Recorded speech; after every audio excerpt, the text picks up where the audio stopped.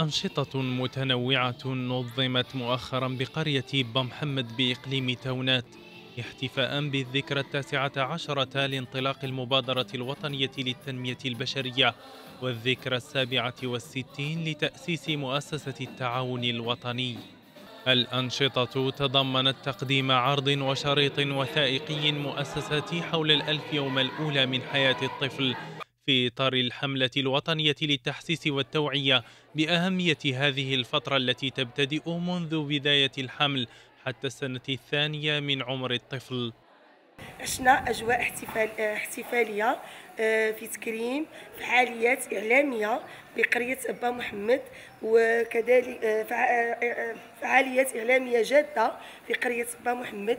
وعشنا أجواء احتفالية من إحياء إحياء براعم أطفال المركز وكذلك تلاميذ برنامج الفرصة الثانية الجيل الجديد.